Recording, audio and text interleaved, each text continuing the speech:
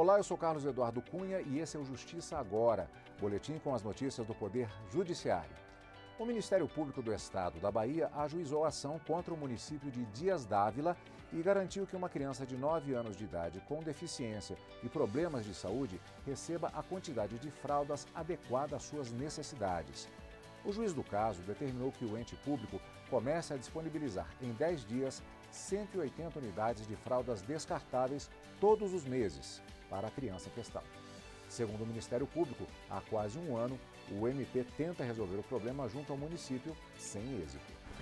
A primeira turma do Tribunal Regional do Trabalho da 18ª Região determinou o pagamento de danos morais, materiais e estéticos a um operador de máquinas que trabalhava numa indústria de metais de Goiânia e que perdeu o dedo enquanto operava um equipamento.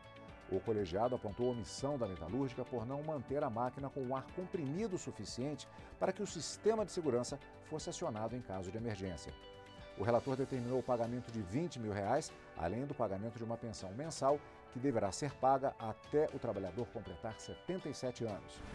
Estão abertas as inscrições para os interessados em participar do seminário Diálogos sobre Políticas Judiciárias, que será realizado no Tribunal de Justiça do Acre. Os interessados podem efetuar a inscrição no site da Escola do Poder Judiciário até o dia 11 de julho. O evento será realizado no plenário do prédio sede do Tribunal, no dia 13 de julho, às 14 horas.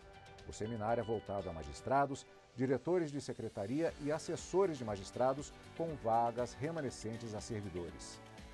O Justiça Agora fica por aqui. Continue acompanhando a nossa programação. Tchau!